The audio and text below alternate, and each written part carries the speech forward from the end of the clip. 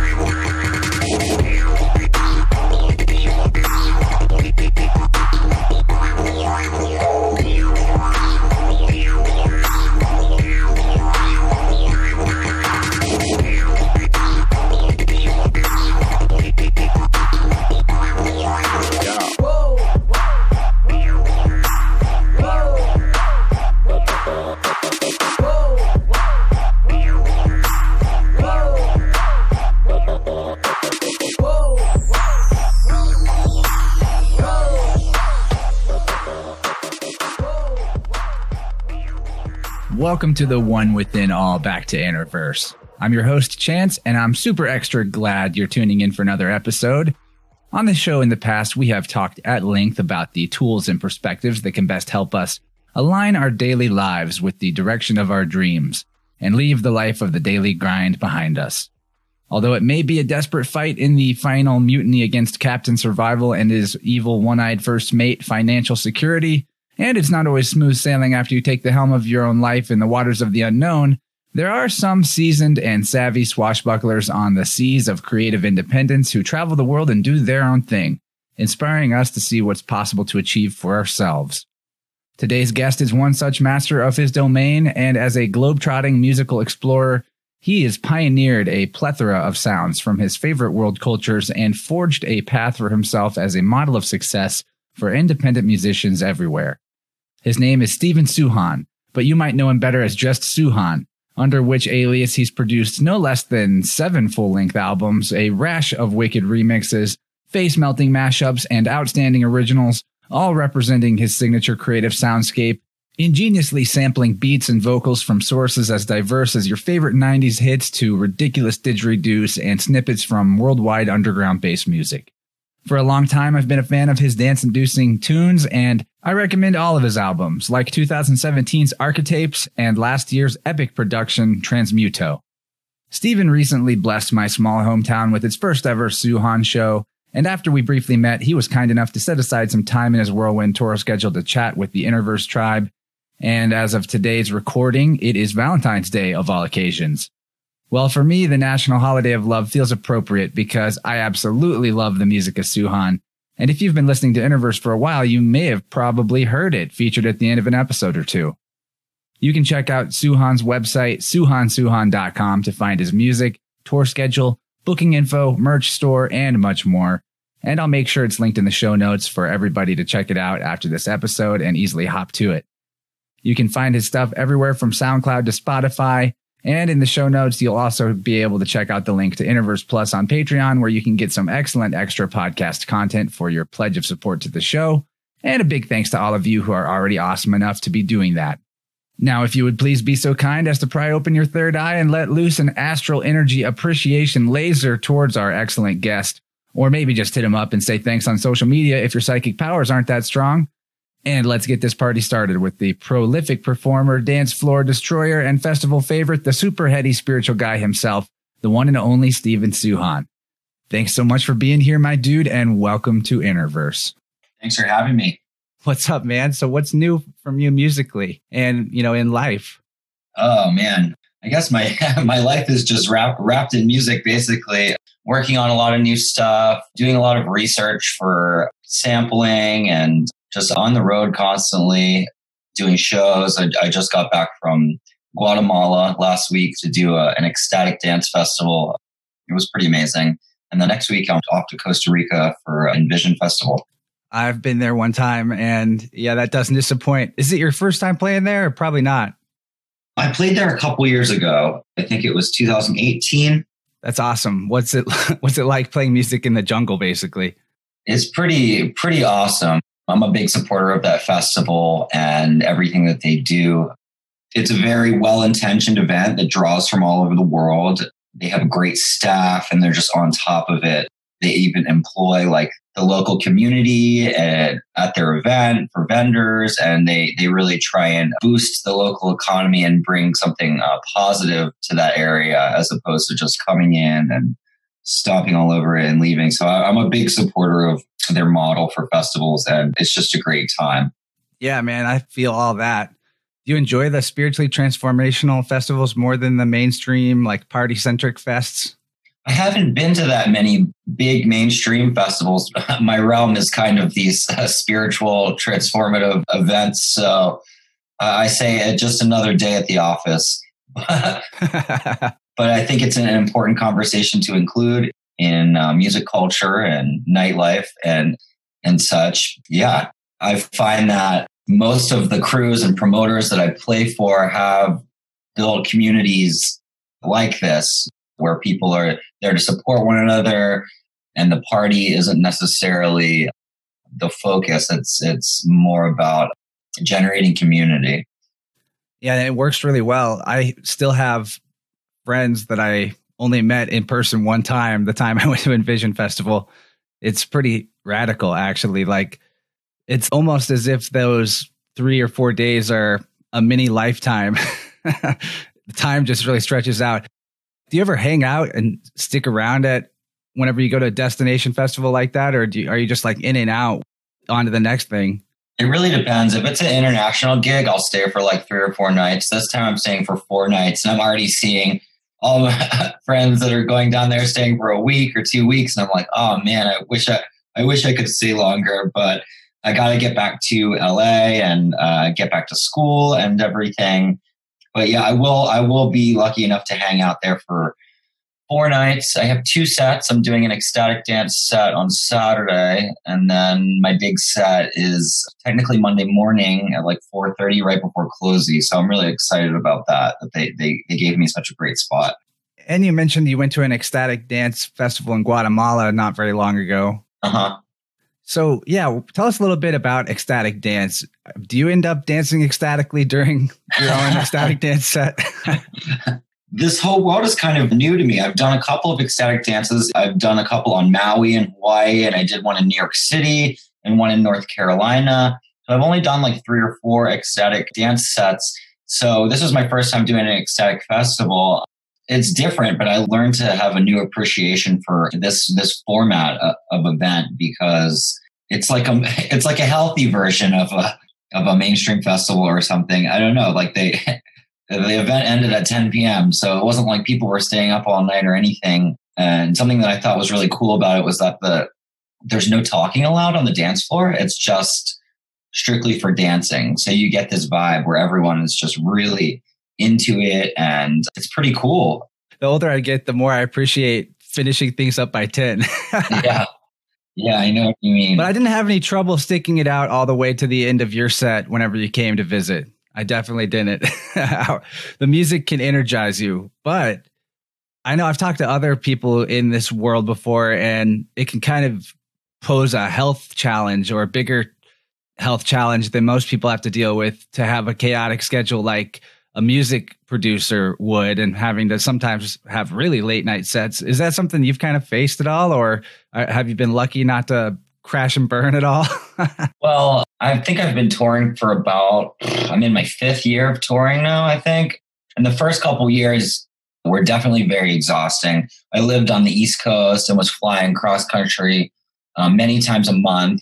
And it was exhausting. There were many times where I felt like I could fall asleep right behind the DJ booth, whether I was in San Francisco or or Portland or wherever I was. And I just kind of had to train myself over the years to to know how to have the right amount of energy. And it really comes down to uh, sleeping as much as possible. Like especially on the planes, for whatever reason, if I don't sleep on the plane or at least try to when I land, I'll feel more exhausted. So that's kind of my trick is to just close your eyes and try to sleep whenever possible.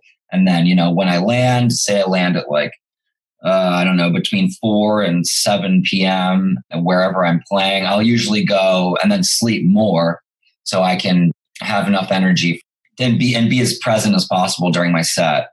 So yeah, sleep is definitely the answer when it comes to touring and, and energy. yeah, especially with so much that you're involved in, just having some time to turn off the thinking and the brain for a while and the all the schedule pressures that might be happening. I remember when I went to Envision, I conked out by midnight each night. I'm pretty sure because I was up all from the morning through the day doing like yoga workshops and exploring the jungle, going to the beach. It was awesome, but I didn't feel like I missed out by going to sleep early. It's just like I've been to festivals where I actually hardly slept the entire time, and the recovery after that is almost like a week of total, total like la- loss of productivity and enthusiasm for the real world. yeah, I feel you. Well, sometimes you have to kind of just immerse yourself in the experience and sometimes you stay up all night and sometimes you go to bed early but they do offer a lot of really great stuff down there during the day workshops yoga that sort of thing. For my big set at envisions at 4.30 so i'll probably sleep beforehand and then come out a little bit later and then i'll be fine. Yeah like 4.30 a.m yeah 4.30 a.m because i think CloZee has the sunrise set so they're going to have me right before her.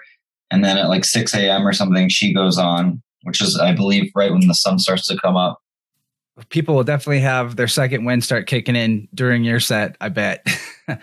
The sun will start getting closer and yeah that's going to be awesome. Kind of wish i could teleport for that. Just uh, check that out. Well i might uh, end up recording my set and releasing it through envision so you might be able to experience it even if you don't get to go awesome yeah and so can everyone listening too my favorite way to listen to anybody's music is in like a full dj mix set i just I love transitions and I love keeping the vibe going. I, albums are still cool. I still enjoy a good album, but I'm looking forward to hopefully getting that recording, like you said. So uh, I'll keep my eyes open for it. Yeah, I feel like uh, our, our attention spans are getting shorter and shorter. So people like to hear, you know, hour, two hour long listening experience. I feel you on that. Yeah. And in that, the DJ can like take you on a journey and put things together you never would have necessarily expected. That's really fun. I mean, that's kind of your thing actually is mashing up stuff that has probably never gone together before. Exactly, yeah. Yeah, uh, tell us a little bit about the type of music create you create and what makes you want to make it that way because you do have a really unique sound. Like how would you describe yourself? I use the words vague and familiar to describe my sound. I'm really interested in international music, traditional music from many cultures, but also the popular music uh, from many cultures. There's just so much uh, stuff out there. But I'm also very inspired by nostalgia and things that are familiar. So traditional Bulgarian music is just as interesting to me as the Beatles or, or you know hits from the 60s, 70s, 80s, 90s.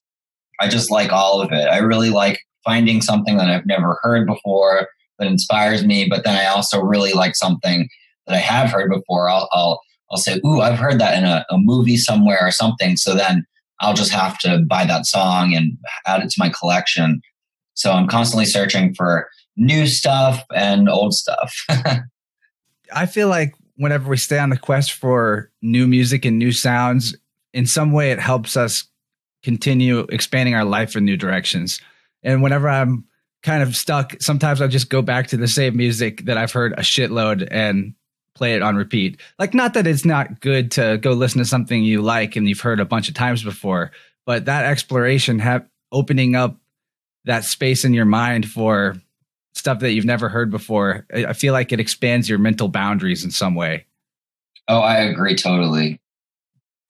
Well, why don't you tell us a little bit about your story, like your personal story from the start to where you're currently at. You know, you've definitely reached a level of success to be getting to play these shows that we're talking about. And I think it'd be pretty inspiring for people to hear about a little bit of where you came from.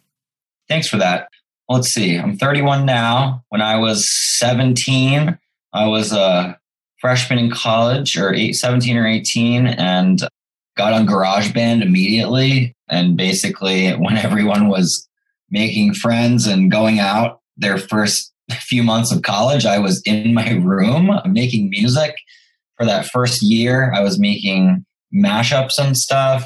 It was around the time that like Girl Talk was was doing his thing, so I kind of drawed a lot of initial inspiration from him.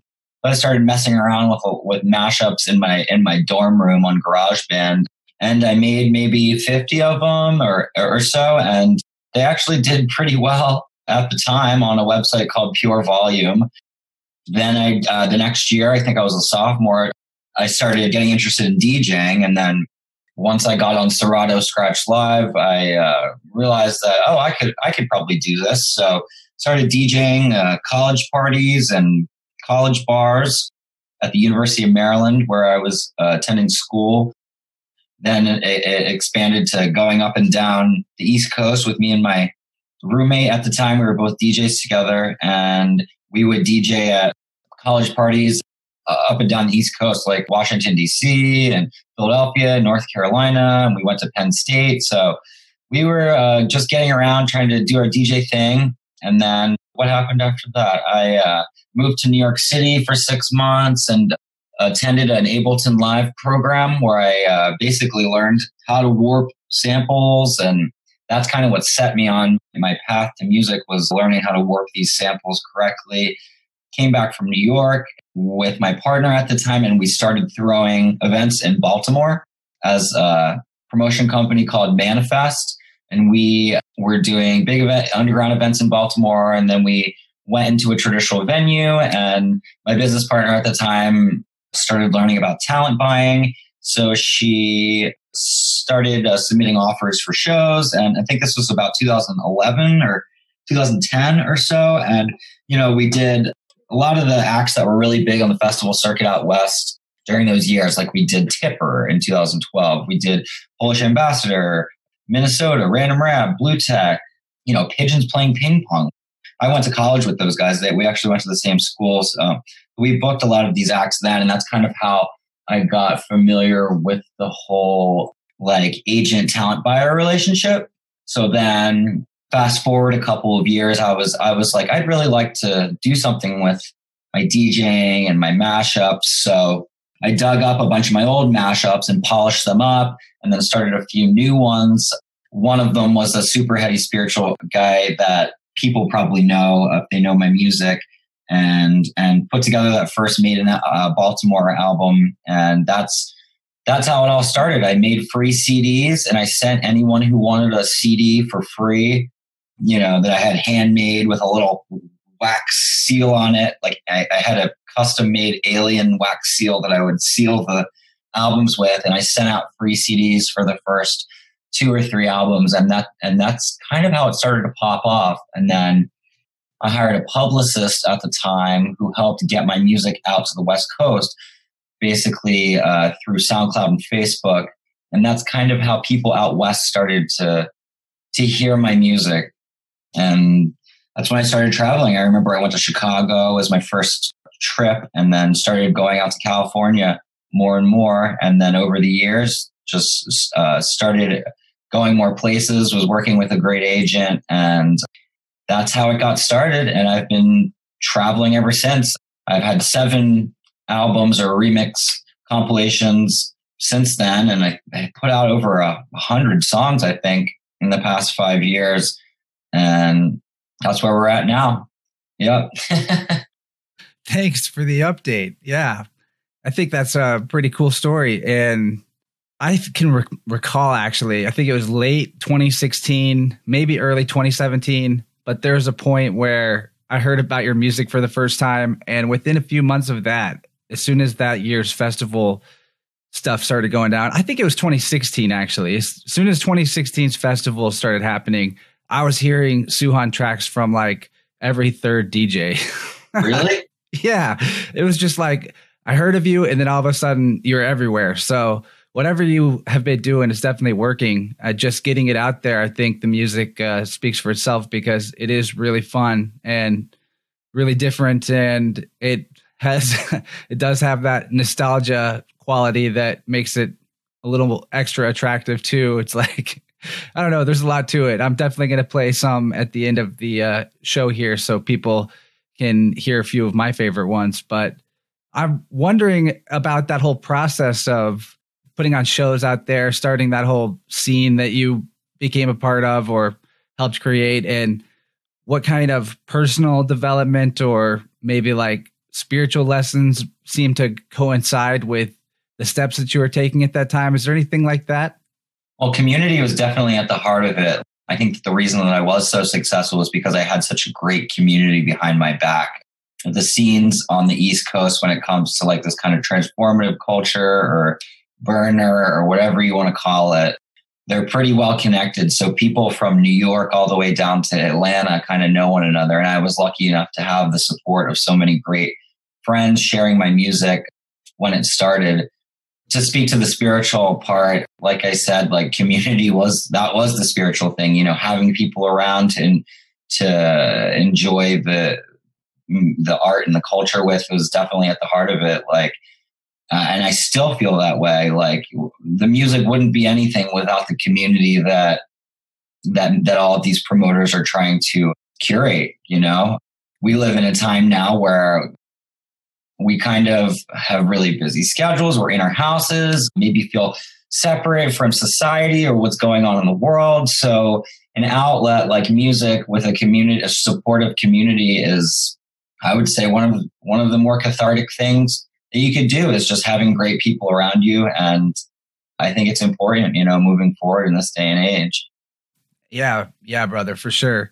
I came out of the shell that was slowly built around me through high school and college by going to music festivals. I mean, music really does bring people together, whereas the rat race is what literally splits people off into little boxes and keeps them separate.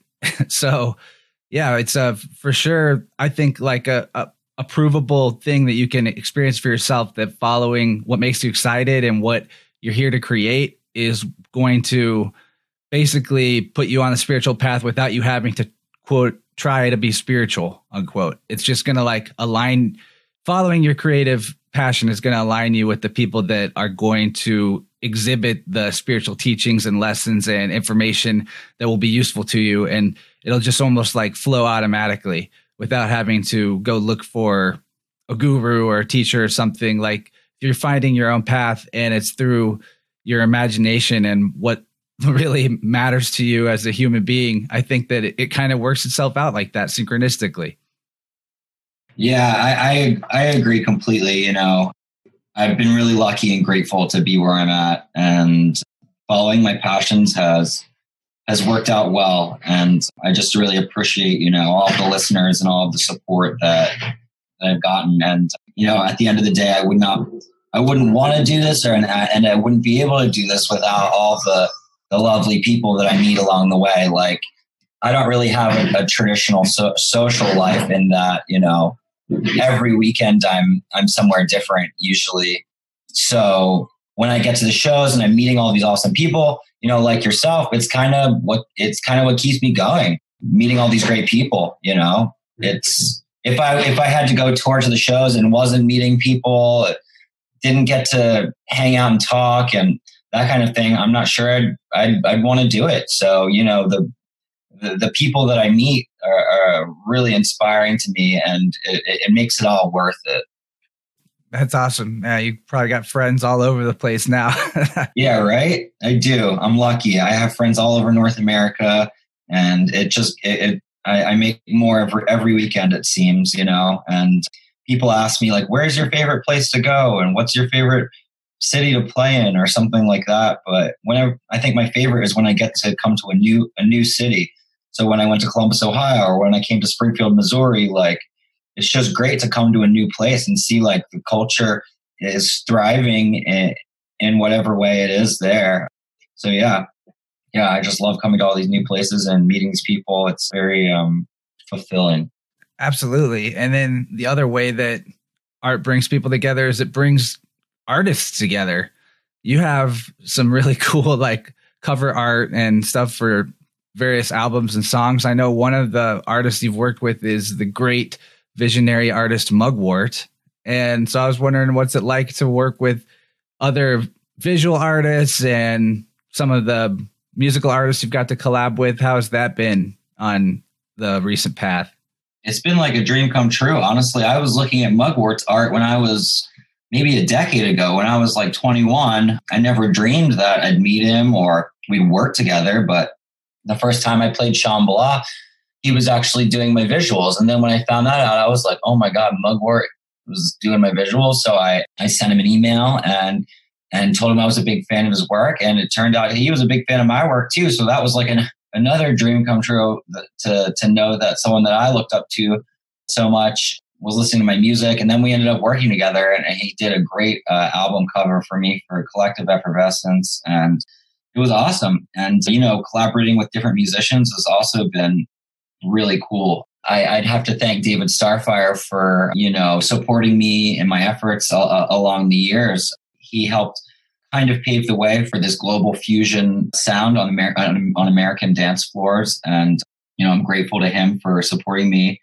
I've had other opportunities to work with great artists like An-Ten-Nae, who I'd been listening to for years. So we ended up doing a, a tour together and making a track. And yeah, it, it's really cool. And then I've also done a fair amount of reaching out to artists around the world through email. And I've had some really cool opportunities come out of that as well. Cold calling people on the internet can definitely be discouraging because, you know, for one out of every 30 or 40 emails or people that you try to contact, you know, you might hear back from like two. So it can be discouraging, but it, it, it does work if you do it enough.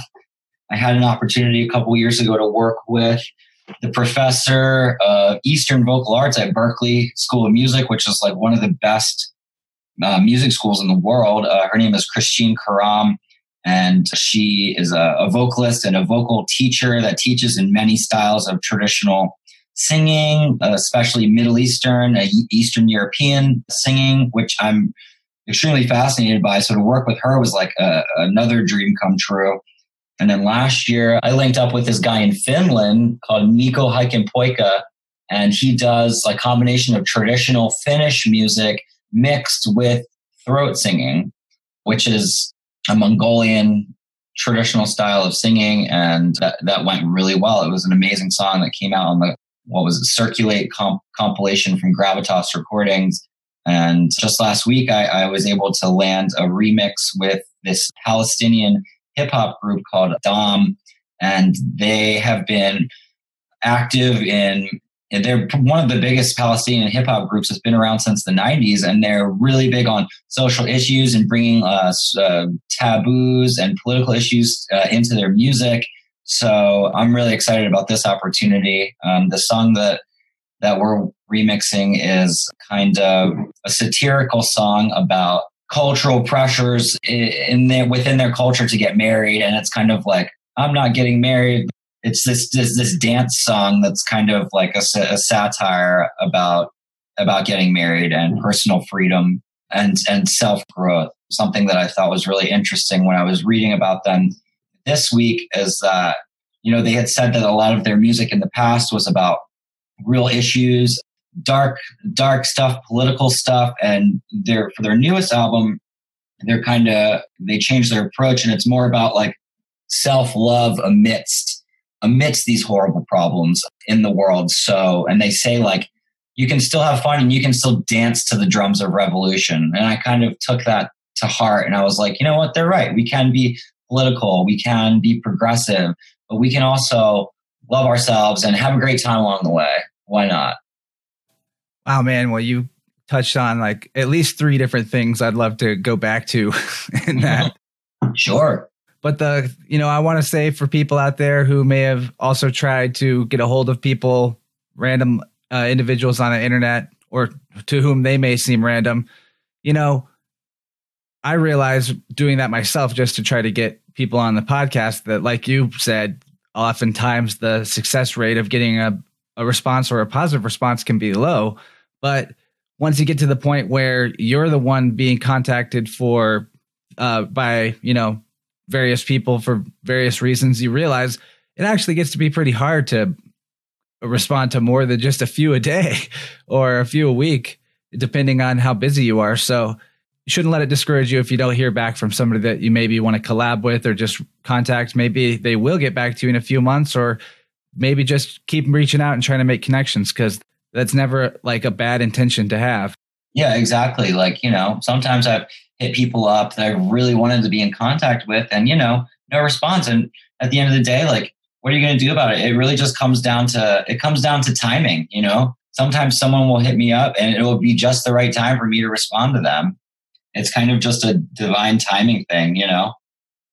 But, but like I said, persistence is key. And, you know, you keep putting yourself out there, eventually you'll get something back I was recently discouraged about it because you know I'd, I'd, hit so many people up and I wasn't getting many responses. So I'd kind of taken like an approach where I was like, I'm just going to focus on myself and I'm not going to work with many other people and that sort of thing. And I kind of had a a realization to get back out there and to uh, start sending more emails again because there's just so many people out there you could potentially work with and and so many different connections and yeah it's at the end of the day, you know, it's just a matter of persistence.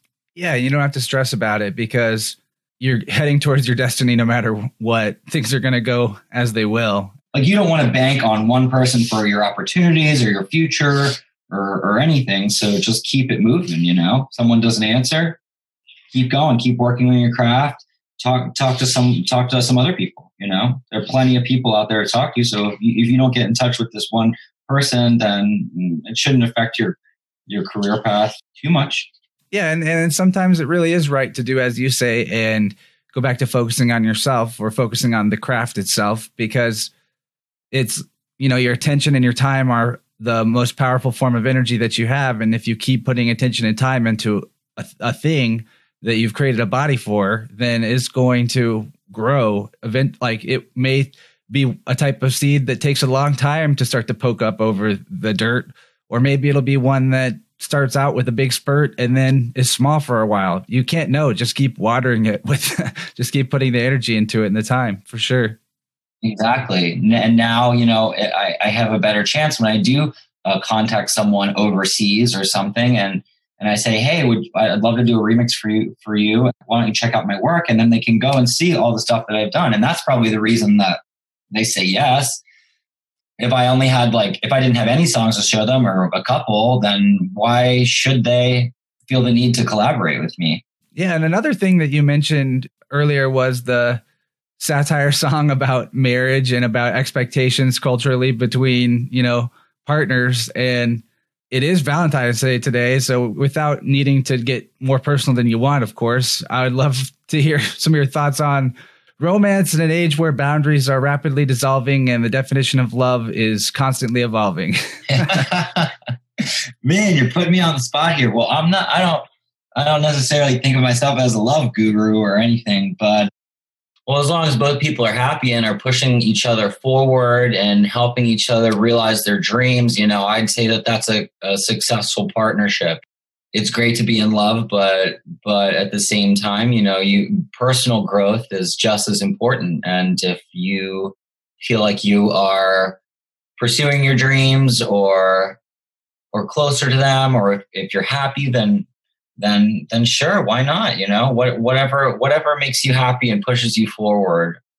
I know that the the way that that, that people love is definitely changing. You know, there are there's more uh, open dialogue about the institutions that, that we are conditioned to be a part of. And there's more breaking of the mold than, than there used to be. People are loving in new ways. There's this whole conversation about monogamy uh, or non monogamy. I don't really feel one way or the other about it, but it's good to know that there's a constant conversation about evolution, pushing forward. How can we become better people? And yeah. Yeah, I'm with you. The conversation between monogamy or what some call maybe polyamory. I feel like it's really useful if you're in a partnership where you or the other person is like wanting to do something unconventional like that, that you both just communicate clearly to each other and uh, respect respect any boundaries that one person might ask the other one to have. And if their boundaries aren't going to work for what you think that you need to explore, just, you know, break it off, man.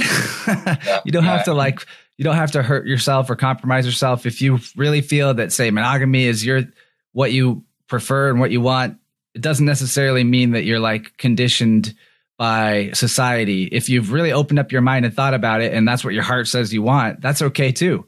But if you also want to be more explorative or do something unconventional, that it's all about like the respect that we show each other at the end of the day and not holding each other back by a label or uh, unfair boundary. Exactly. Um, like I said, it all comes back to communication. You know, if you feel like you aren't able to communicate or or whatever, like you should be able to be yourself, whether you're in a relationship, not a traditional relationship, a non-traditional relationship. You should be able to be comfortable, be yourself, and and look to the horizon. You know what I mean? There's a metaphor for polyamory about about a bird in a cage where they say like, oh, you have this beautiful bird that's singing in this cage, but it really wants to just like fly out of the cage. Like why why put it in a cage at all? So it's just kind of a metaphor for for that. that I thought was really interesting. That kind of helped me formulate my views on some of this stuff. But yeah, happy Valentine's Day, everybody. And to all the single people, we got this. Sometimes being single is is even better and, and helps you look inward. Can be tough and lonely, but if we're able to stand on our own two feet, then ultimately we'll be better in any relationship that we come across.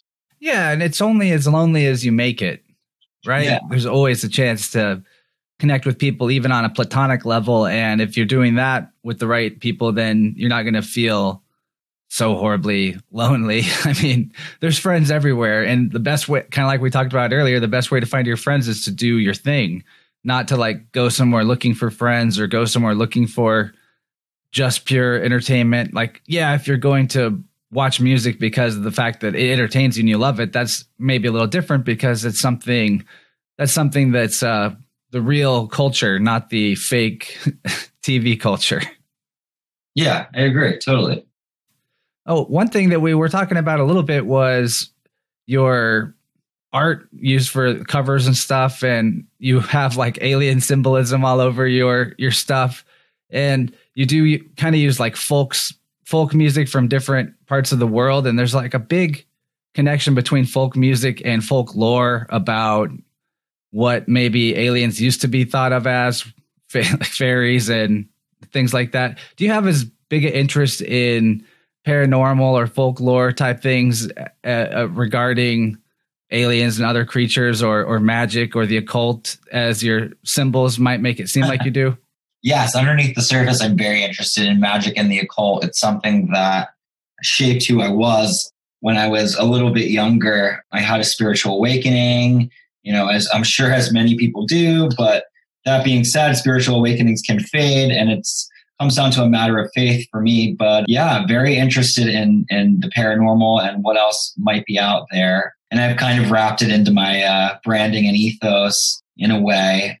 There's just a lot out there and when I got interested in the occult or whatever you want to call it, the paranormal, it was it was because I was looking for something. I wanted to know if there was a God, if there was something out there. I was just like, what does any of this mean? And I found it. I found it and I, I try to take what I learned and live my life with with these principles, you know. I think I used to have a temper when I was much younger, but something that after I started to get uh, a little bit more spiritual kind of opened me up to like a more peaceful, chill way about things. And, you know, love's really at the heart of all of it. We can talk about aliens or the occult or Madame Blavatsky or Manly P. Hall or a- anybody that's into these kind of esoteric teachings. And, and it all just comes back to love for me. You know, you can simplify it if you want to know if there's a god or if there's aliens or ghosts or whatever, you go find them, and I'm sure you'll find something.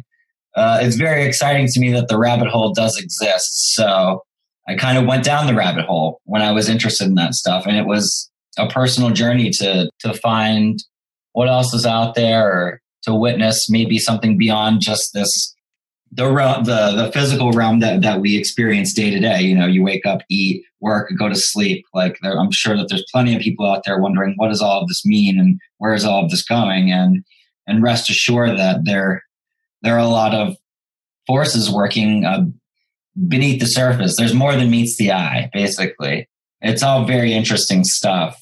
And you know, you can you can go as far as you want but at the end of the day, it kind of just boils down to the idea of love and, and friendship and how humans might be able to discover more about these concepts. Like maybe we don't know enough about love or laughter or friendship because they're some of the most powerful forces, I think, in the world. So I think looking forward into the future, maybe the more we as humans learn about this eh, elusive concept of love or or friendship or whatever, I think that's just only going to fare better for the planet and the global family. You know, we've got a lot on our shoulders at the moment as humans. There's a lot going on, you know, there. So I think over the next few decades, we'll probably learn how to treat each other a little bit differently and maybe change how we see one another. And I think that we'd be better off because of it. Right on. Did that yeah. answer your question? I don't know if I talked about alien, aliens enough, but no, you totally no. I, I mean, getting into the specifics about aliens is just diving deep into the subjective, but you did mention things below the surface, and it's kind of interesting. One of the first occult tools that I picked up and integrated was using the I Ching. Have you ever checked out the I Ching before? It's like the calendar, right? No, it's like the it's called the it's known as the Book of Changes. That's what I Ching means in oh, Chinese, okay. and it's like these sixty four hexagrams. It's kind of like a tarot of this older system of magic, but. I pulled a card, which I don't usually do just before this episode because I was curious, like what might come up. And I got 29, which is basically the water element and the water element stacked on top of each other. It represents like the deep abyss or the complete submergence in the waters of the unconscious. And when you're talking about like this foundation under the surface of everything being love, that's really talking about connectivity, that everything is unified in a sense. And this card, the abyssal and the deep water, is like a well or a rabbit hole that goes forever into the darkest recesses of the mind. And the subconscious is where all of these like liminal things like aliens or elves or creatures live. It, it's emerging out of the sort of dreamlike womb of the unconscious. And the further I went in the spiritual path or studying the occult, the more clear it came, became to me that basically all the selves in the universe are derived from one self and that it's like a completely unified singular organism that we're all existing as parts of. So whenever we're talking about this stuff that's living in our unconscious, like the the alien or the, whatever it might be, the Sasquatch, it's also a part of ourself that it, we're tapping into. And I think like that's the biggest lesson that going down any particular conspiracy rabbit hole or science fiction fantasy might lead us to at least for me i mean it always comes back to that. And then that also kind of uh, revalidates the thing that you hear from the beginning which is that love is what matters. Because if you're whatever you're doing lovingly or whatever you're treating lovingly you're treating yourself that way. Yeah yeah. I i i agree wholeheartedly. There is a rabbit hole and if you want to go down it go down it. Look up things like Terence McKenna that sort of thing. And you might not find what you're looking for, but you'll find something. We look at the basic tenets of, of religion, and they all pretty much say the same thing, whether you're a Christian or a Muslim or Jewish or a Buddhist, like really kind of comes down to how you treat other people. And it kind of ties back into what you were saying about the I Ching, about us all being the same organism. We are all stuff that is attempting to thrive. I have kind of this belief that that that we are kind of all like the same thing, you know, like you said. So in one sense, I'm Stephen and your Chance, but in another sense, we are the same stuff communicating with itself. And I think that, that perspective is really interesting and valuable because it helps you treat other people better. And you can see everything as an extension of you, you or yourself as an extension of the world. And I think it it fares well for the uh, idea of symbiosis and coexistence. And we need to learn more about it probably in order to get to this next phase of evolution that we are in and this new paradigm shift. You know, there's a paradigm shift taking place and it's it can be discouraging because you because you think oh is the what's going to happen to the world like it's it's so messed up and the wars and homelessness and suffering and, and hunger but i think that every day uh, we're getting a little bit closer. There are more and more people realizing that love is what's going to save the planet and as hippie or I- idealistic as that sounds like i can't find a better argument you know? Yeah the revolution in consciousness rather than the revolution on a battlefield or in forms of government. That's really where it's at.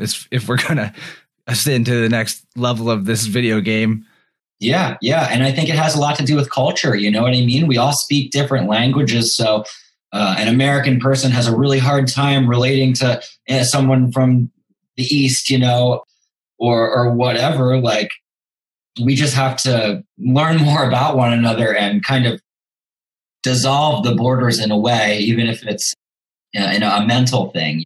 Which is why I enjoy doing this type of music so much, you know, because I'm able to both learn about new cultures and expose people to new cultures because they might not have known that they really appreciate Middle Eastern music or music from China. And I, I, I want to promote like a, a global, a global vibe, you know, one that implies that uh, like the new world where it doesn't matter where you come from or what language that you speak we're just humans at the end of the day and we all have very interesting things to share with one another yeah, I, I totally agree. I think everyone's got to know at least a thing or two that nobody else has ever thought of that way or found out about, or at least not the person that they're talking to in that moment, you know? yeah, yeah. So that's one of the cool things about festivals too is that synchronicities seem to happen there there more often and as we were talking about before you know following your personal creative path being what leads you to the best reflections of what you need to know next to continue that path. Of course, it's like the opportunities appear as soon as the steps are taken or the intention is made. I was wondering if uh, you had any interesting coincidences or extreme synchronicity stories or paranormal experiences or UFOs you've seen at opportune moments that you can think of. I did dive pretty deep into the paranormal when I was younger. So, plenty of experiences like that. Synchronicities, for sure. I, I, right on the spot, I'm not sure I can think of any off the top of my head, but there have been those moments where I'm just like, is this going on inside my brain or is this the world? Like, and it really is a matter of faith. I feel like sometimes when you're feeling super spiritual, then you might see all these synchronicities. But you're not feeling so good, then you won't be looking for them. So, and you might not see them, and you wonder, where have they gone? What what what is what is going? Where's the magic? And what? How can I find it again? You know, that's something that sometimes when I'm feeling down or discouraged, I'm asking myself, how can I find it? And it's kind of almost the the, the wrong question to be asking because, like I said, it's a matter of faith. Like for me personally, at least, when I do have faith, even in those moments where I don't see the symbols and the signs around me, that can be a really important tool because because it's going to get get you to your next step. Like I don't know, I, I I just feel like faith is an important important aspect for me in, in this at this point in my life. Uh, I don't even really know what I mean by faith, but kind of just in its essence, like not being scared, right? Not letting the destructive energy of fear slow you down or distort the leg of the journey that you're on. That's kind of how I would interpret yeah. it, at least in this context. Not faith in anything specific other than that everything's always going to work out in the best way that it can. So just go with it. kind of like believing in magic. Yeah. When you're feeling horrible, you probably won't believe in magic as much as you would as if you're feeling amazing. But I think it's really important to keep believing in it so that you don't dissolve your idea of it, you know, because the more and more you don't believe in something like magic, uh, the more it doesn't exist to you. like quite literally. If you don't believe in something, how can it exist at all? Yeah, especially if the it's our consciousness that creates the reality that we experience, then for sure you better believe in what you want or you're not going to see it. yeah, it's pretty cool. But I have one more big question for you. You are a well researched, well traveled man. I was wondering if there's anything going on in the world that you've discovered that maybe not a lot of people know about, but you think they should know about, or that maybe they can find a particular documentary or book that you recommend uh, to blow their mind. Hmm. Well, recently I've been really, I'm obviously really interested in, in, in language, different languages. I, I only speak uh, English and then maybe a little bit of Spanish, enough to get by. But I'm fascinated by language. And recently I've been watching a couple of polyglots on YouTube. A polyglot is someone that speaks many languages. And I just find it fascinating. There's one guy called Lao Shu 50,500 on YouTube. And he speaks something like 30 or 40 languages and he can just walk up to someone in the grocery store or something be like oh are you are you from china and then he starts speaking mandarin to them or or or or french or or, or arabic or somali so he knows like 40 languages and i just love watching him like connect with these people because they just light up and they would never expect him or someone like him to even talk to them so it's really cool to see someone communicating with all types of humans. And I think that there's a really important lesson to be learned there about where we're going in this global village, you know. So that has been really fascinating to me recently. So I would, I would encourage people to check out Lao Shu 50,500. It's L A O S H U 505000 on, on YouTube. Truly inspiring stuff. And then another one is called a Xiao Ma NYC. It's X I A O M A N Y C. It's this kid that lives in New York City that is fluent in Ma- Mandarin. He also speaks Cantonese and uh, a little bit of Fujianese. And it's just really cool because the people that he talks to are really appreciative of the fact that he's speaking their language to them. And I think that things like this are are really productive and progressive in, in today's climate of separatism, you know. So yeah, I'm fascinated by language, and that's one thing I've been checking out recently. So, yeah, what what was the other part of your question? Oh, just that if there's anything going on in the world that you are became aware of that you think needs more mass awareness to uh, help it or heal it, or that is just interesting or or good and will make them happy to hear about.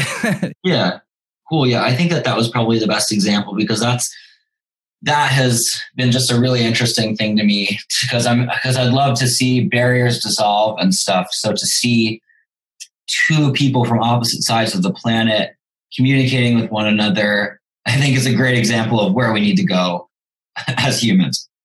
Yeah, absolutely. And then when it comes to studying the occult, you can throw out a lot of your research and just study the origins of language and etymology and what words really mean. and then word magic will just start happening automatically with you. I mean, it's it's almost like words are a programming code or language that is the operating system for the reality that you choose to exist in. And someone that can switch between that many different operating systems is definitely going to be at a more unified level of consciousness just at a baseline it, would seem like.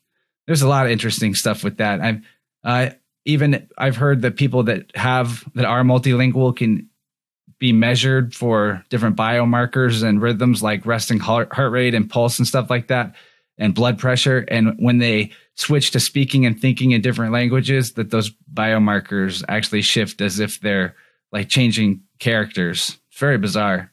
Wow that's interesting. Yeah i know that sometimes when this guy is approaching someone in a language that that uh that he's trying to practice like he says like oh his heart will be racing like like while he's doing it. Interesting. That could be a connection i'm sure that people would like to know about my process for how i make music you know how i do it that sort of thing i do a lot of digging on youtube i do a lot of digging on itunes youtube is the world's number one search engine now so that's how i'm finding most of most of the music that that i'm listening to now whether it's contemporary dance music or hip hop from Africa or the Middle East or uh, old popular music from different cultures. I found that on YouTube. If you find a really great song, you can search that song and then go to the playlist filter, and then you can see hundreds of people that have built playlists that that include that song. And uh, that's been a really great way to find music. Searching in other languages is another really great way to find music. So if you find a phrase or something in, in another language, then copy and pasting in that language into the search bar, whether it's uh, Asian characters or Arabic or wh- whatever. Um, that's another really great way to uh, to find stuff beyond our, own culture. Because if you just go on YouTube and search traditional music from Syria, you'll only find a certain amount through a certain lens. But if you are actually uh, searching in the language, then you're going to find a way more authentic stuff. So that's that's kind of how I find my samples. And when it comes to combining them, I'm using mix a program called Mixed in Key, which roughly determines the musical key of each of the songs. You know, it's not 100% accurate, but it's pretty accurate. So then once I find the musical key, I'll have my whole iTunes sorted by by key basically, and then I'll see oh if I really want to remix this this certain song from the 90s or whatever, I'll say oh look it's a F minor, and then I'll look at the 300 other songs or whatever that are in F minor, and then start fiddling around with them. And that's kind of uh, my process for music. I'm I'm putting out a new remix compilation on March 18th that everyone can listen to.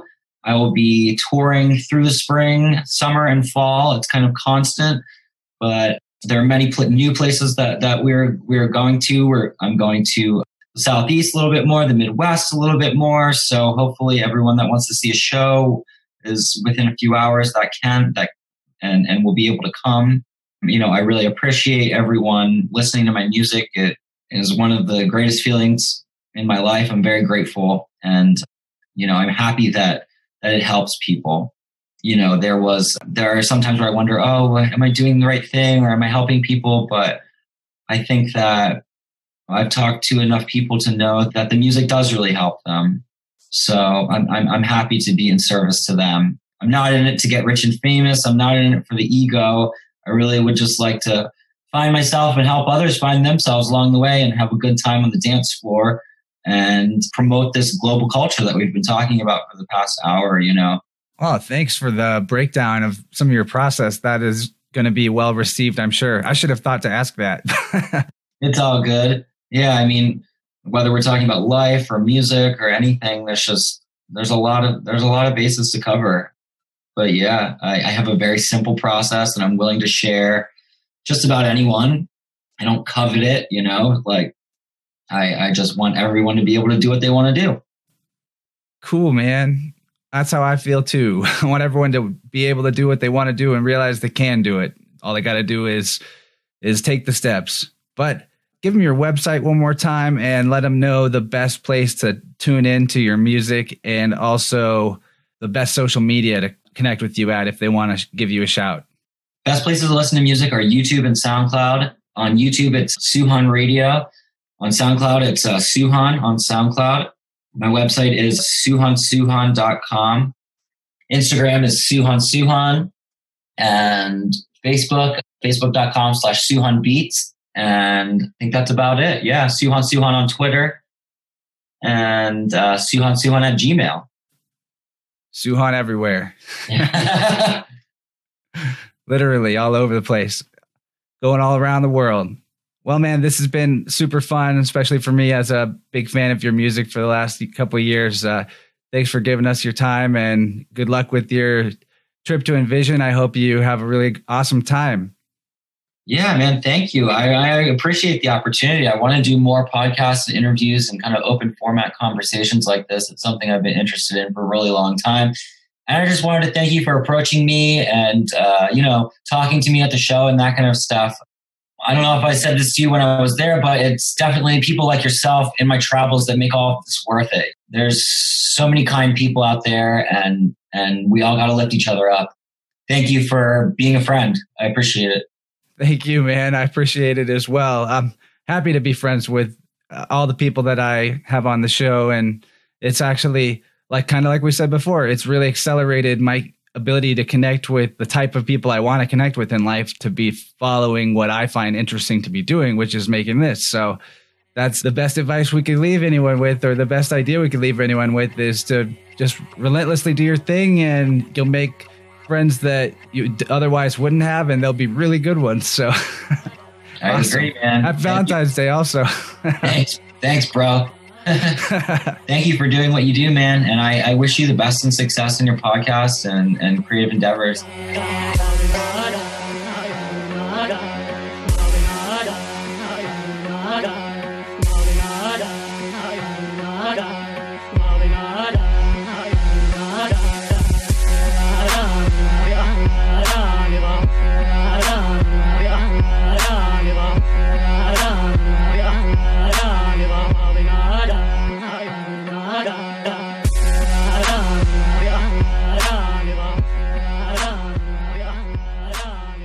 Hooray and huzzah. That's right. We made it to the end of another episode. Thank you, thank you, thank you for being here all the way to the bitter end. Bittersweet. For it was sweet to me that I got to talk to Soohan or Stephen, someone who I've loved their music for a long time. Maybe a little bitter that I wasn't able to record a plus extension. And by a little bitter, I mean not bitter at all. Actually, I totally understand because if you're moving around the world at the rate that a producer like this is, it's not that easy to set aside that kind of time without seriously compromising something else, or maybe there's literally just not the time. And it wouldn't be the first instance where we couldn't get a plus extension from someone, and that's okay. Can't always do it, but we do try, and we have a lot of plus extensions for anyone that wants to sign up and become a plus member because they like this show and they'd like to hear twice as much of it. Well, there's probably like 80 or more episodes that do have a two hour version instead of a one hour version. So you definitely won't be disappointed if you sign up patreon.com forward slash innerverse. And yeah, big thank you to Stephen for coming on. It was really cool of him to, like I said, uh, get to know me a little bit while he was visiting our town to play a show and agree to do a podcast together. And maybe we can do something like this again because it felt like we were scratching the surface of some of the deeper sides of this guy. And I would have liked to have gone further and maybe we can. One thing I liked that he talked about was contacting other people to do collabs or finding other artists to work with and how that requires a lot of effort and it's not something that's just easy or automatic or 100% you get what you want all the time or at least your first try and I think that's really good advice for someone like me who just kind of tries to do everything by myself when it comes to the show I'm making. So I don't, you know, have anyone else helping with social media or graphics or editing or anything really, or scheduling or reaching out and contacting people who would make good guests. All of those would be really useful help to have, types of help to have. So I guess I'll just toss it out there to you guys. If you know anyone that you think could be a useful teammate for me to align with my goal of getting this podcast to more ears and getting more and more excellent guests on as time goes by, that would be great for any reason or any way that someone could maybe collab with me and in some way help out the show. I'd love to know about it. So yeah, I'm definitely inspired by the hustle that Soohan has got going on. Stephen. I always just want to call people who have a musical moniker by that moniker, but really, dude's name is Stephen. I'll keep that in mind. But I'm inspired by his hustle with everything that he talked about and how he, fast he grew his musical career just by putting in the effort and believing in himself and working on the music side and the craft side. And it was really cool that he also shared some of his process with all of us. That's not something that every artist necessarily always wants to do, but in my opinion, there's nothing better you can do than show someone the tools that work for you because most likely they won't use them the same way you used them. there's there's that. So there the other thing is they might teach you something later down the line. You never know. Or right then and there, if you're teaching them in person, they might innovate something right before your eyes that could be useful to you. whether it's painting or making music on a computer screen or jamming with somebody on analog instruments, which is still pretty fun, despite the fact that we're in the age of digital everything.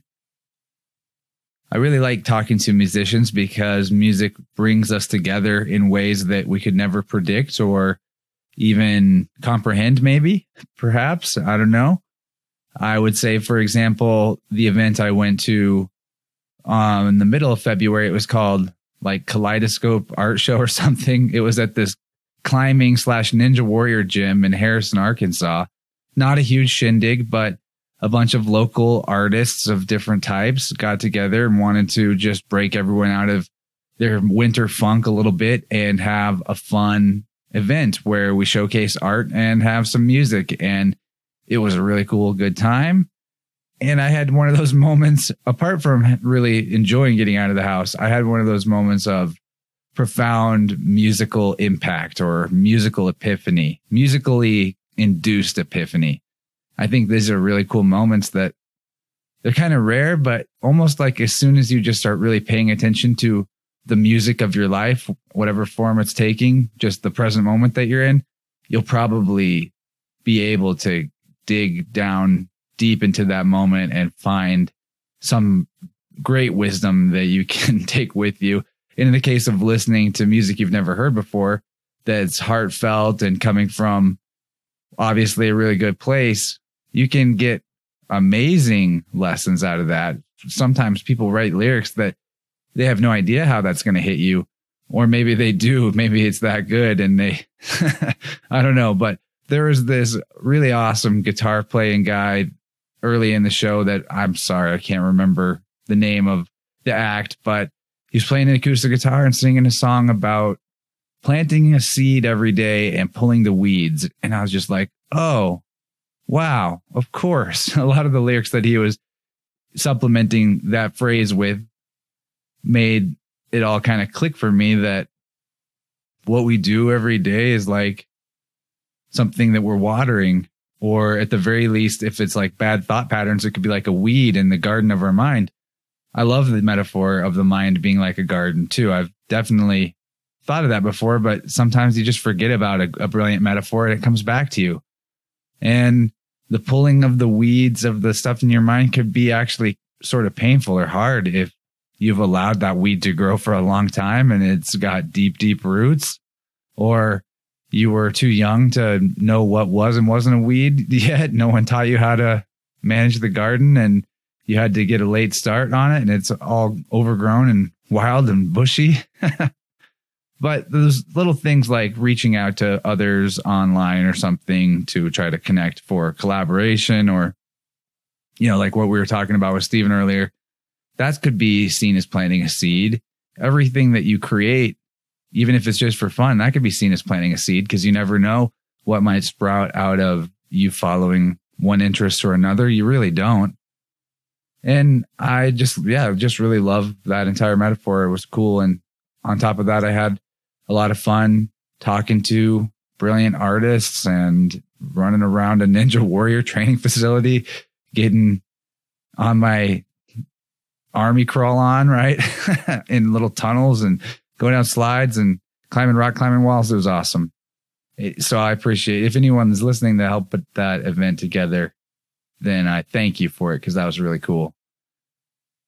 Another good thing we talked about with Soohan was the language topic, and that came up right at the end. And I would have liked to have spent more time on it because there's something profound there. He was getting talking about getting into watching these people who are polyglots who could speak and master many languages at once.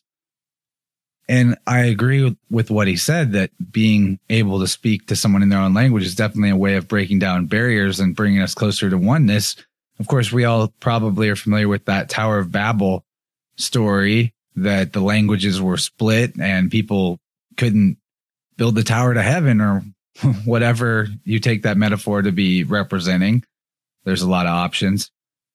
But not only does language tear down barriers between people and allow us to communicate with each other, it allows us to communicate with the past. And I think that might even be more interesting in a way because we can see what was going on in the past and how it shaped our current time by looking at what words we inherited and what like the roots mean and what the different parts of the word mean. And you can break down words and get really interesting results. It's something you would call green language in magic or the occult, which is sort of like interpreting words on a bunch of different dimensions. First, how it sounds, how it feels as a word, and then also on an etymological level, what do the roots mean? And when you combine them together, what is it that you're getting? And when it comes to like contract language and legalese, that's where it gets really weird. And the definitions of stuff matters quite a bit. The green language thing has a lot to do with kind of like puns and wordplay as well to see multiple meanings in one word or sentence. For example, earth is an anagram for heart. You can switch up the letters just slightly and you've got it. Someone who was on the show quite a while back that gave us a really good breakdown of all this was Laurel Arica or Laurel Erica. I guess it's Erica. Whoops. I would check that episode out. I want to have her back soon. So maybe we can do some more language exploring and possibly talk about polyglots while we're on the topic and whether or not it's true that you can easily master and learn many languages if you just have the right learning method. I don't know. It'd be kind of cool if I could just within a couple of years all of a sudden know like four or five languages or more, right? I think we would all like to be able to do that. But yeah, it's time to pull this train into the old station and finish her off. So thanks for being here and listening to the show. Thanks again, Stephen Suchan. Everyone make sure to go to soohansoohan.com or find Soohan on whatever you like to listen to music on, because I'm sure it's there. S O O H A N. And I'll play us out with a little bit of uh, Soohan, some of my favorites. I don't know if they're favorites because I like a lot of what he makes, pretty much all of it, but some that I definitely know I like and want to share. So let's do it.